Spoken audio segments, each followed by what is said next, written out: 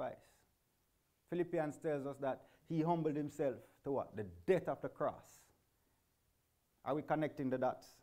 Before the, the foundation of the world, Christ was intended. Christ came to earth knowing fully well what would happen. Right. John, when he sees him, says, Behold the Lamb of God that takes away the sin of the world. Jesus Christ in the garden, let's connect that, says, If it's possible, let this cup pass. Nevertheless, not my will. Again, it's not, it's not hurry come up. It's not just thought about. It's not, it's not a hasty decision. This has been in train before the let us statement is made in Genesis. Let us. Before all of that, this was in place to say, we are going to do this, and this is how man will be reconciled. So, when Andrew says, we have found him of whom Moses and the law and also the prophets wrote, it's not a simple statement. How many of us use our GPS? Oftentimes we have no idea where we're going. I can tell you this that for my job, I drive to some places. Woo, I'm up in the hills of, of, of Vermont. and I'm worried for other reasons, but yeah. one of the reasons that I yeah. don't know where I'm going. Uh-huh. but the GPS says turn left, turn left. Look for the sign, turn onto this road. So you say, oh, that's the road and you get you turn up at the place. We have found him. There are some identifying marks. There are some signs which we can look to for us to identify who Jesus is. And so when John, when, when Andrew says that, it says, despite what we knew, the law, the prophets, all that information that has shaped our history and our culture, we have found him because in that information that has shaped us is that Moses said, Look, there is going to be a prophet. Isaiah says, There's going to be a child born of a virgin. His name will be Emmanuel. So we have Malachi tells us, all the prophets are saying, There is a time coming. And then as we get to Matthew chapter 2, we have some wise men, the Bible calls them, saying, We have seen his star. Mean, think about it. You have how many millions of stars in the sky? They said, We have seen his star. Again, some identifying marks. Um, 1 Peter 1, 10 to 12 is the second one I'm begging somebody to read. 1 Peter chapter 1, 10 to 12. Because again, when, when, when John makes a statement, behold the Lamb of God, is a powerful statement. It's a, it's a departure. It is a rethinking of all that we think salvation is, or they thought salvation was. Because John says, Behold the Lamb of God. So, 1 Peter 1 10 to 12. 1 Peter 1 10 to 12. Concerning this salvation, the prophets who prophesied about the grace that was to be yours searched and inquired in them. Search and inquired carefully, inquiring what person or time the Spirit of Christ in them was indicated when he predicted the sufferings of Christ and the subsequent glories. It was revealed to them that they were serving not themselves but you in the things that have not the things that have now been announced to you through those who preach the good news to you by the Holy Spirit sent from heaven, things into which angels long to look. So, if, if, if, if I'm understanding this passage right, the prophets, though they got the information that there is a salvation coming, search daily what manner of time, how will this be done? You know the part that strikes me?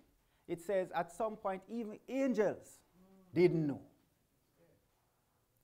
So when, when Andrew says, we have found him, I, I want for us to recognize that That is a statement that is an all important statement Andrew is making that based on all the information I have, based on all I know, based on the fact that I was following John the Baptist for so long, I am at a point now where I realize that all else, everything else, is secondary to this moment.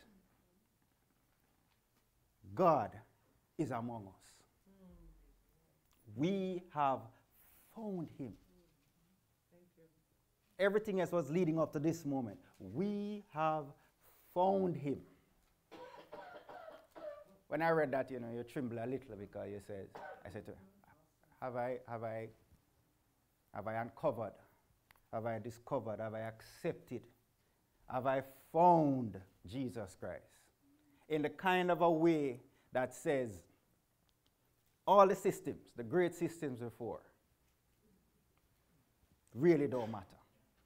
I think it's Paul who writes, says he has counted everything before as done compared to Jesus Christ. So when John is writing to emphasize to us the deity, the sovereignty of Jesus Christ, this is one passage that should work our minds, some thoughts. That Andrew, in one statement, in one moment, no great philosophizing, no great um, education, no study, no great arguments, no great debates. John says, Behold the Lamb of God. And Andrew can put it together, all that information, all his history. And it's going to come back from all the way from Abraham down to say, We have found him. Not that, not that Andrew didn't just say in, his, in himself, Oh, that's good, we have found him. No. It says Andrew left and found his brother. So convinced that, look, we have found him. John, have you succeeded in beginning for us to turn the mind to say, wow, Jesus Christ is the Son of God? That's a question for you. But once we look on all of that that we have done, I'm hoping that you will start to see how could John, a Nazarite from the womb, sent as a messenger before God, revered as a prophet throughout all of the, the, the community, the Jewish community, feared by the government at the time because of his moral standing and what he was preaching. How could John summarize all of the Old Testament authority by saying, Behold the Lamb of God? Certainly he wasn't ignorant. So that information led him to the conclusion Behold the Lamb of God. So that we looked through last week. Good, 10 minutes. Any questions? We want to jump into two and three. Comments, concerns? Are you still working on it? All right. All right. I just start calling names after. So we're looking, these are the, the, the, the themes I want to look through in two and three. Uh, trigger happy finger. So looking at Cana Galilee, cleansing of the temple. Nicodemus, famous story. Most people know it, comes to Jesus by night. And of course, we look at the witness of John the Baptist. So let's start. Cana of Galilee. 2 to 11 says, Jesus Christ and his mother and his disciples went to a wedding feast in Cana. And they went, the pivotal problem was that they ran out of wine. His mother said to the people, the attendants, said to him, They have no wine. Jesus says, Why are you telling me this is not my business? My time is not yet come. His mother, like I think most mothers, says to the attendants, Just do what he tells you to do. Jesus says, Fill the purification jars with water. They fill it, they dip in its wine. He says, Take it to the host of the feast. The comment is, Why have you kept the good wine until the end? And that is what we have in a nutshell Cana of Galilee. But one of the things as we read, I want to put in our minds the process of making wine. In that time, if I'm reading right, they would grow the grapes for how long? You would prune, you would tend to the, the, the, the, the, the I'm forgetting the name that grapes. The vine, but the whole field. But you tend to it, the vineyard.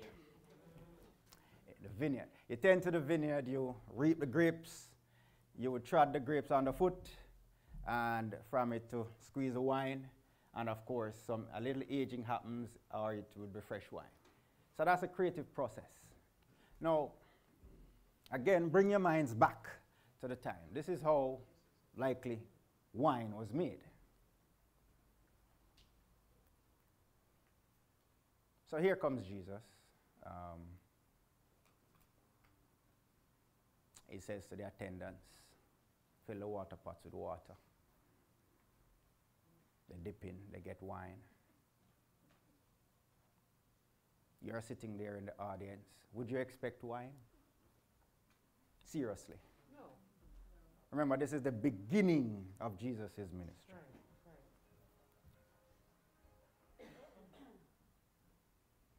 The wedding feast typically runs some probably five, seven, ten days. The guy who tastes the wine, the host says, You have kept back the good wine until the end.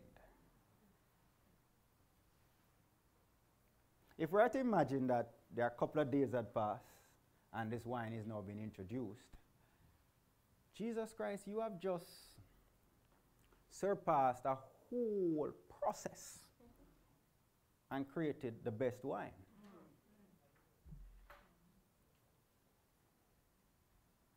Think for a moment that convert is not just the, to make wine, is not just the water. When, the, when the, the vine is making wine, it's not just water. It pulls from the earth, the source, air, all sort of chemical and biological processes that makes this wine. Right. And not just any vintage, real good wine. Jesus Christ says, and we get to it in John chapter 15 I am the vine. I am the vine. And when we get to John 15, we talk more about that. You are the branches. But the idea I want to bring for us is that when Christ says, I am, I am all sufficient, I am all able, I am able to do whatever you need. Jesus Christ had, he didn't even have at this point all the disciples, all the apostles. They just heard from John, Behold the Lamb of God. They believed John. In my own mind, they didn't believe Jesus so much then. It's because John said so. You know, you are heading somewhere and somebody you trust say, that is a good thing. But you haven't developed any faith in that thing yet. Right, right. But because the person you trust their opinion, their, the- you know, their whole character says to you, you can be trusted. Friend for 30, 40 years, whatever, they're an expert you trust. But you haven't developed any of that yet. So there the disciples come to the wedding. Imagine, put yourself in that shoe. You're in that wedding. John says this is the Messiah. The evidence points to, yeah, this has got to be the guy. But you have no tangible hands on. You haven't touched the evidence yet for your own self. These apostles now see some 120 to probably 180 gallons of water turn into wine. The guy would taste the wine. We are gonna, we are gonna imagine that he's an, he's probably not an expert, mm-hmm. but certainly knows good wine. So you are sitting in that beside Jesus, and Jesus looks at you simply and he says, Fill the pots with water. If he's anything like, if that demeanor was anything like a, a Dave Mackenzie, he probably didn't even look at you. He just said, Fill the pots with water. And he says, All right, now, take some and take it to the host. Can you imagine how many of us would walk with confidence taking that water to the host. it's not until the host says, Wait, you guys have done the opposite of the tradition. Right, right. That I'm thinking that those guys are going to say, Wow, it's really wine. In a couple of moments, put yourself in the apostle, in, in Andrew's space. Andrew, all your life you have been reading, there is coming a Messiah. Moses, the revered lawgiver, says, There's coming a prophet after me. Him you will listen to. Isaiah is telling you, Hey, listen, a virgin is going to conceive, being a son. Call his name Emmanuel. He'll take the sins of the world. Malachi says, A messenger will come. All of that is in Andrew's head playing. Then the messenger comes, John the Baptist, and Andrew is a follower, learning from John the Baptist. And John, who the scriptures spoke about, the prophets, says, Andrew, behold the Lamb of God who takes away the sins of the world. And Andrew says, All right, John, I trust you. I believe you. If you say so, then yes, this must be the Messiah. So Andrew begins to follow Jesus Christ. But I'm imagining that Andrew is saying, like most of us, we are humankind. If you say so, I have confidence, trust, and reliance in the law and the prophets. I know that. That is, that is what I have known all my life. I have confidence and trust and reliance in you, John the Baptist. You have been prophesied about, you're here, you're doing what the prophecy says. But I don't know this guy. But imagine now, with all of that, I step in and Jesus, at the wave of a hand or a few words, creates gallons mm. of wine. Mm. It must boggle the mind. This has got to be the guy. This is the first miracle. We haven't gotten anywhere yet. This is the first of them.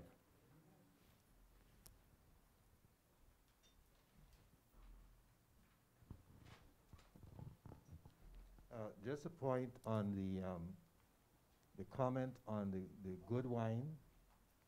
Um, the good wine was always considered to be the one that was unadulterated. Um, there was no yeast in it. So it was non alcoholic. That was a good wine. And what, what, what they did, I think you alluded to it in, in just now, the tradition was you, you, give your, you gave your guests a little bit of the good wine at first, and then you gave them adulterated wine because their taste buds are already compromised. Mm. So they would get the bad wine afterwards. They say bad wine in that the, the, the one that would intoxicate you. But at the very first, they gave you the good wine the one that is a non-intoxicant. All right. Um, we read some more of that at, at, at point because it says, I think the, the, the, the, speaker said, you gave them the good wine and when men are drunk. Yeah. Yeah.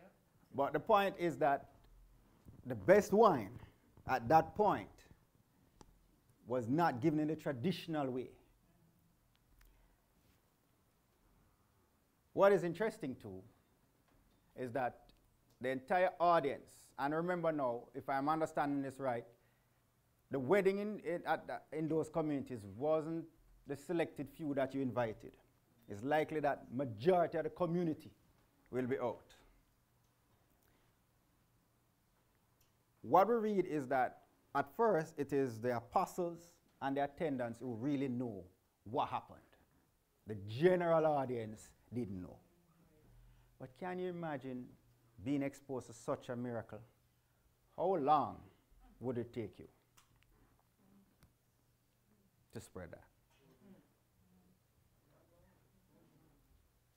But the important point I want for us to get is that the apostles' belief were being cemented in Jesus Christ, beginning now. Okay. Another point is that Why are there purification jars at this place?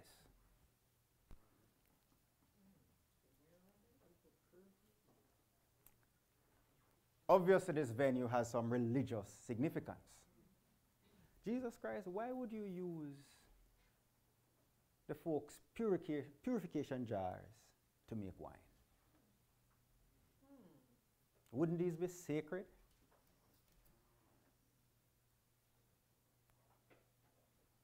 And you have now created wine in the sacred jars for a secular event. Does it turn your mind?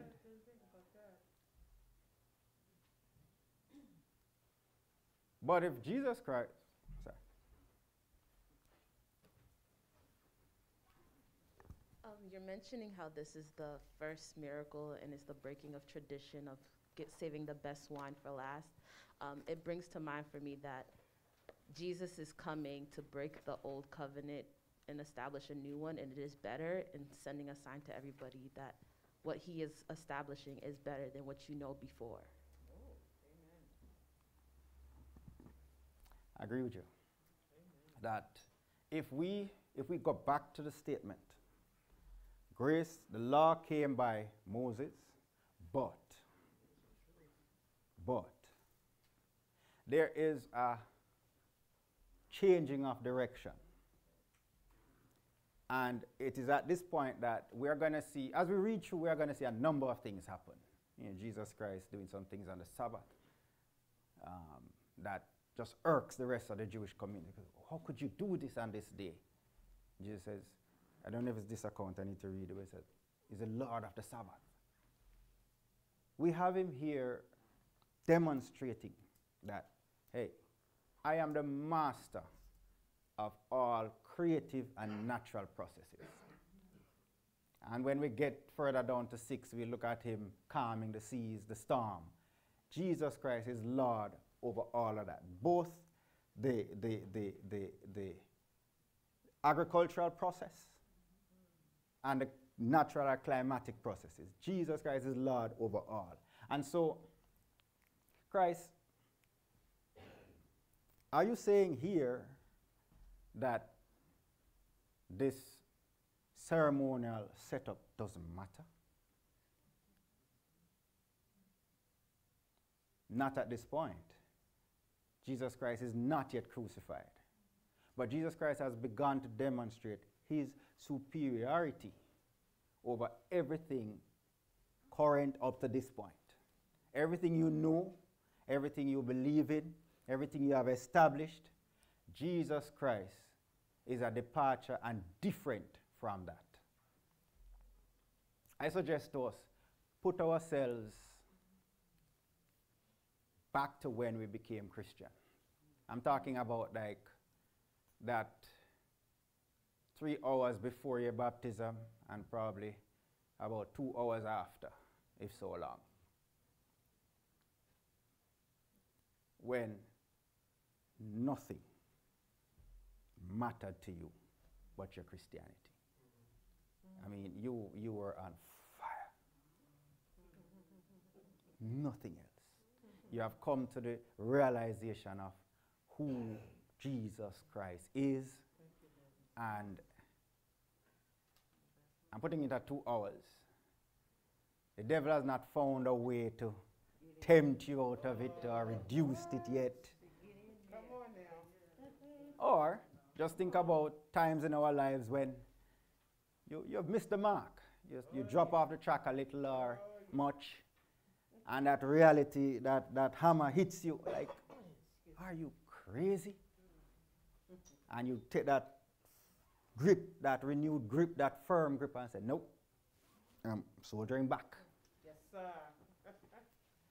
It is that moment when Jesus Christ takes precedence, mastery over all that we know and accept.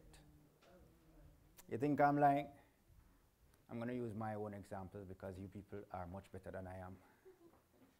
But oftentimes, a challenge hits you, and you start working. Well, I start working it out, and then the reality comes home that yeah, you, you, you think you know finance. You think you know some amount of, of, of maintenance. You think you know these things. But if Jesus Christ doesn't say so, That's right. Hello. don't make any sense. I'm going to give you one personal example. We owed a debt, and we began to work on how we're going to pay this debt. Yes, sir. A good money. Really begin to work out how we're going to pay this thing. And then I open the email and I see the mail from the guy. And I say, okay, here we go. But before I did that, I went online to the account that I had, opened it up. And it's a good thing that nobody else saw me because you might be look, coming to visit me in the nut house because I'm just laughing. And all I can say is, God, you, you, you. Yeah, yeah, yeah. The statement says zero. All right. All I'm not lying to you, zero. All right. All right. Sent an email to the guy and I said, I got a statement saying zero. I'm just making sure. That is. He says, You're all good, you're all set. Wow. That didn't happen 10, 15 years ago, it happened just recently. I'm saying that if I tell you how much calculations I did, how all that we think we know, and this is my personal issue now, you, you can work, all that we think we know, and we know a lot. Don't discount that. We, we know a lot. But Paul says, and I like Paul saying it, he says, I count all of that as worthless, dung, unnecessary. When it comes, when it compares, when it is held up against Jesus Christ. That is because Paul recognized who Jesus is. John is writing to us, his audience, and to us by extension, that we understand who Jesus is. So let's come quickly. Three points. One, up to this point, the law and the prophets were respected, revered, and trusted. John introduces to us a departure. He says, but grace and truth through Jesus Christ. Three, the people who understood that best because they were in that environment could safely, confidently say, We have found him. Hence, now, when they come into this setup, it's a confirming or a reaffirming or cementing of that belief. So, in the story of John chapter 2, verse 1 to 11, we have a feast that run some five, seven or more days, large numbers. In this, that we have some of these folks were disciples of John, Andrew for certain, were there sitting. And so we have this wine, this water being converted to wine. And of course, the first miracle, definitely word is going to spread. But so be it. This is the first miracle. Questions? Comments? Is there anybody who is concerned that Jesus Christ decided to be a part of this festivity? Any thoughts that come to mind? Jesus, you're heading to a wedding. Here is a whole village of people celebrating love, union, family structure. Anybody? I do have one question because I'm not really familiar with this, this, this book. So Jesus at this time, is he like a, oh, I'm sorry. Is he a young child or like a mid teenager, middle age? What age range would Jesus he have been to have d- started doing his miracles at that time? Jesus should be somewhere in, in his 30s.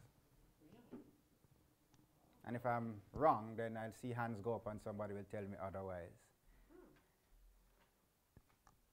You mentioned earlier about thinking about the mixing of sacred and secular, and I, what comes to mind is before the word was only for the Israelites, and he's extending it to everybody, so mixing the sacred of secular, so giving access to all to know him.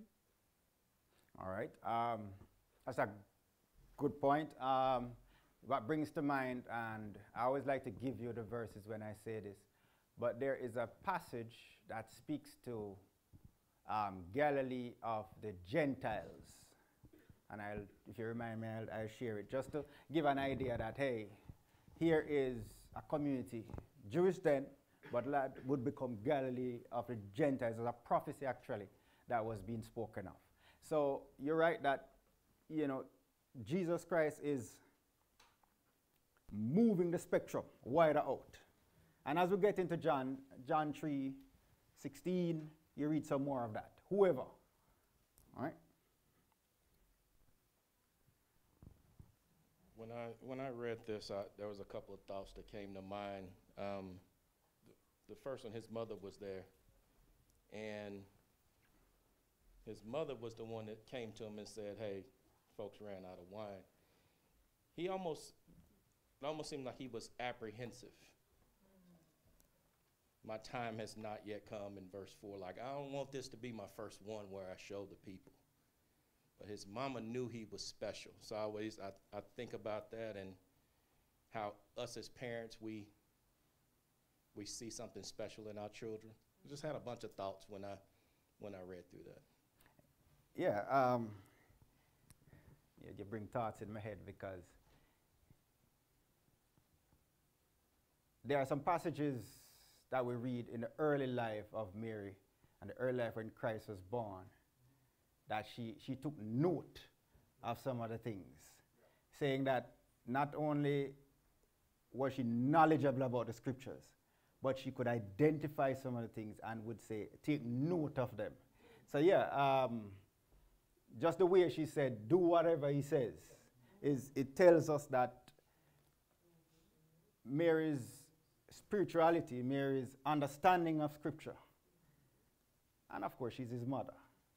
Um, if Jesus Christ is the, is the example in all form, then as a good child, is an example for us as well. So respect for your parents. Um, one translation says woman, which is not, which is, which is speaking to her respectfully, as if he's saying, if, how I interpret it is, mom, I'm not this is not my time. I'm not ready. Um, but you know what? You're my mother. You know. And she, and she, there was no discussion to say, all right, would you like to? She just said, look, whatever he says, do it. So yeah.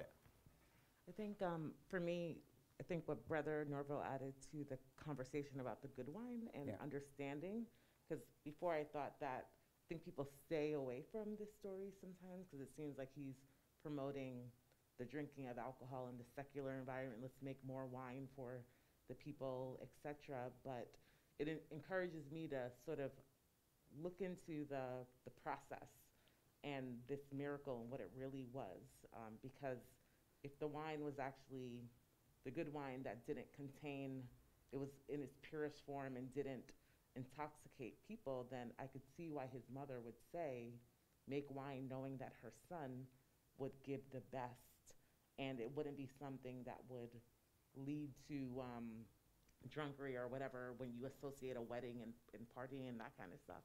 Um, but that adds a different dynamic to the story that I didn't think about before, and it's encouraging to sort of understand what that wine process was and, and, and why they used it and all of all of those components of it because it, it's it just adds this different dynamic to the story that I didn't think about before. Yeah. And we can add to that that um, the Christian is not to be intoxicated with anything, not just wine, not love, not money, not. You're always to be sober, always to be balanced. Um, all right, so we're good. Okay, so then. Um, keep blending three questions. I keep putting it in the form here. John says, These things are written that you believe that Jesus Christ is the Son of God. That is the whole purpose of this book. So far, we have the prophet saying, This is the Son of God. We have John the Baptist saying, This is the Son of God. We have the apostles or the disciples at that point saying, Hey, we have found him that, we read about. This is the Son of God. Let's run to another one. So Nicodemus comes on the scene. And this Nicodemus says, No, we have to pause. Who is this Nicodemus? Nicodemus is described as a Pharisee. One of the things we know about the Pharisee is that these folks knew the law. They were the doctors of the law. Some of them were scribes. So they, they, it's not, Nicodemus wasn't coming from a head knowledge, an opinionated point about Jesus Christ. He didn't, he was just a part of the society. You know, some of us grew up as Christians. We grew up in a Christian household or we grew up around Christian people. That's all we know. And it means that, yeah, we, we, we, we have exposure, but we haven't studied anything really. But your mama, your aunts, your, so you grew up listening, hearing it. You had to go to church whether you want to or not. So it's in you. You sing the songs without the hymn book just because you have heard them so many times. Mm. But you have never really considered the words. You know, when, when, when they sing Old Rugged Cross is just another song. And if, if you grow up in some city, you know when they sing that is about to have communion. So you know, okay, we are at the communion part. Even if you wake up, you realize that, okay, that's where we are. yeah, but it's, the significance is not there. But Nicodemus was a doctor of the law. Would have studied it, would have known the dictates, would have been practicing it. Um, I have appeared a Pharisee, a learned man in Jewish religion, skilled in the interpretation and application of the Mosaic law. This is the Nicodemus that comes. Of course, he comes by night, and we are all familiar with the story. We know why. I mean, as a ruler, if Jesus Christ is against all things Mosaic, you can't come in the day. Mm. You know, you're not supposed to. It begs the question, though, you know, it begs the question of us. Can you go to Jesus Christ in daylight?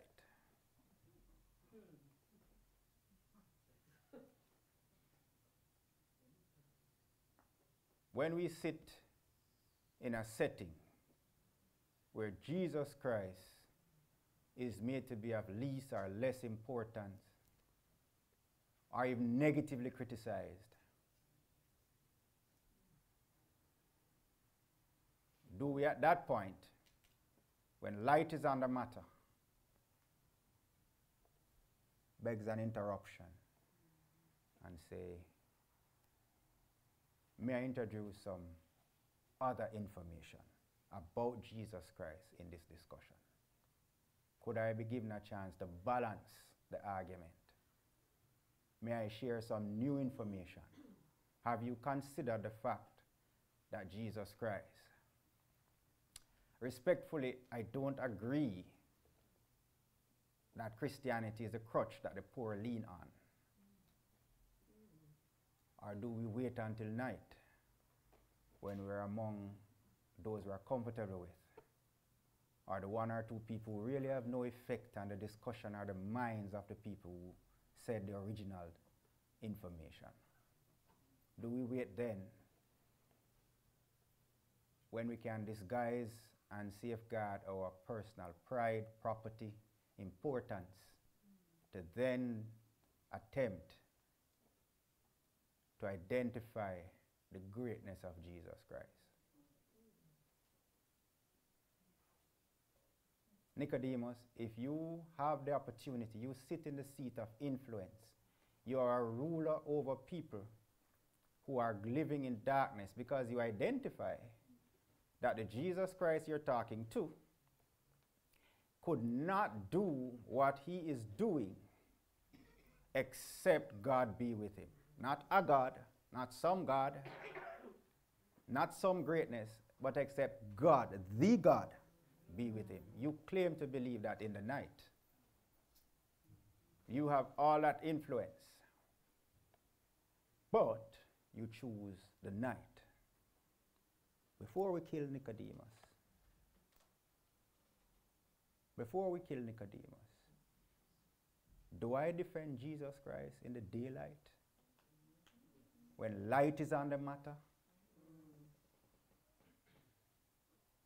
Question. But Nicodemus, a ruler in Israel, again, a doctor of the law. You know, I have to bring in another doctor of the law, Gamaliel. I think it's Luke chapter 5. Gamaliel says about the apostles and preaching the gospel in the midst of the Sanhedrin, in the list of rulers. He says, We must be careful.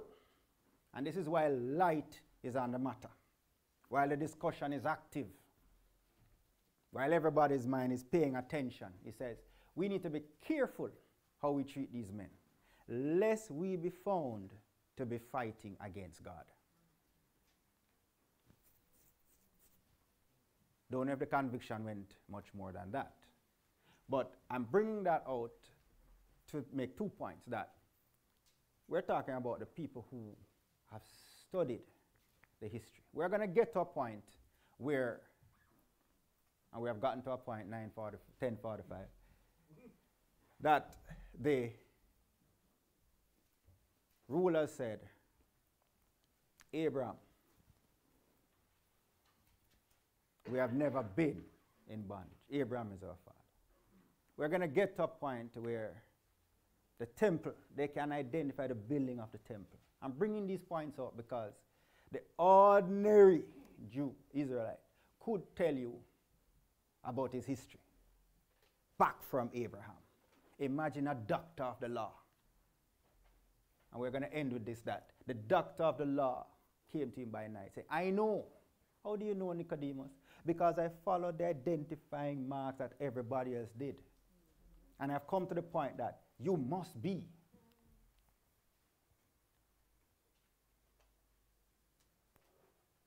Jesus Christ said some things in John chapter 3, verse 3 to 5. We're going to close on that, ask you to read that, and then we'll talk more about that next week. But the question I want to leave with you to consider is the evidence from the marriage of Cana pulling you any closer to saying, Yeah, I believe Jesus Christ is the Son of God? Let us pray. Great God and Father, we are mesmerized each time we dive into your word, how much information you have left, how much road signs you have left for us to follow. How awesome and great you are. We pray, Father, that you'll help us always to respect, to reverence you for who you are, and to strive, oh God, to be pleasing. Forgive us, we ask. Be with us as we move to the next portion of worship. As we pray to Christ's name, amen.